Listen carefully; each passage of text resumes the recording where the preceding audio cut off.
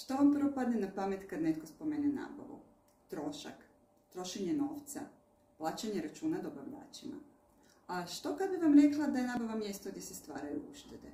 Nabava realizira dodanu vrijednost za vaše kupce. Nabava ima direktan utjecaj na vaš profit. Moje ime je Nataša Cikač i konzultantica sam za nabavu i lanac opskrbe. Pozivam vas da se prijavite na webinar gdje ćemo govoriti upravo o tome kako ostvariti uštede u nabavi. Dobro nam došli!